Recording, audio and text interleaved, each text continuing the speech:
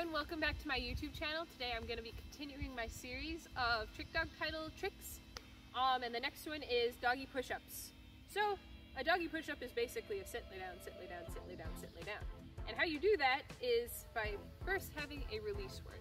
Because a lot of mistakes people make is as soon as they, their dog gets gives them what they want, they get a treat. And then the dog goes, okay, I'm done, and then they abandon. And then the other thing is, is then if they don't get that treat right away, they're like, why am I working? So instead, I teach my dog that she has to work for me. She'll get treats and praise, but she is not done until I release her with the free command. So Amo, free, go free.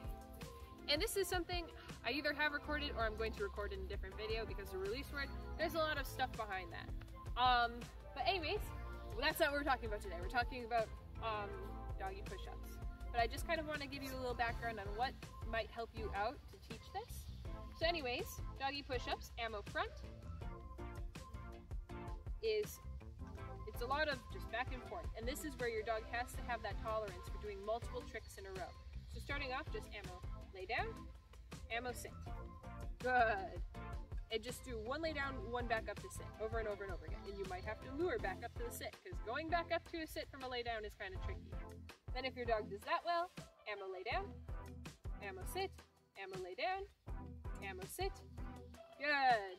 And just add one more push-up each time. This is something that's also really good for your dog's health. It'll help build their core.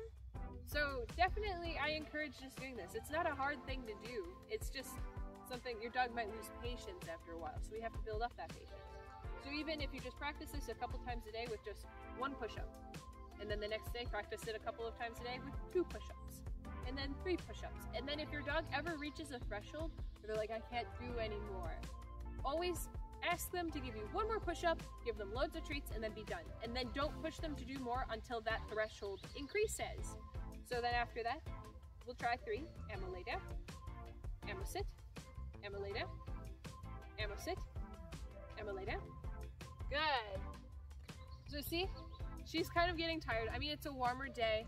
We've been recording a lot of videos. This is a, a, later one in the series of videos I'm recording today. Um, but I do kind of want to see if she reaches her own threshold so that that way I can show you how to push past that. So Amo, sit, sit, lay down, sit, lay down, gosh, a bird flew over there. It's scary. Lay down. Sit. Lay down. Good. Sit. Lay down. Sit. Lay down. Sit. Lay down. Sit. Lay down. Such a good girl. Sit. So see, this is her threshold. So then we just help her up. Good. Sit. And I just always push her one more than what she wants to do and then she gets a treat right away. But if you have to use a treat as a lure for the last one, that's okay. Just make sure it happens. If your dog is really struggling from going from a lay down to a sit and a lay, another thing you can do is just kind of boop, boop, boop, and just kind of get your foot underneath them and go, oh, sit, sit, and just make it uncomfortable. Obviously, I go over her a lot, so this is like whatever, Dana. Come on, sit. Amo, sit. Good.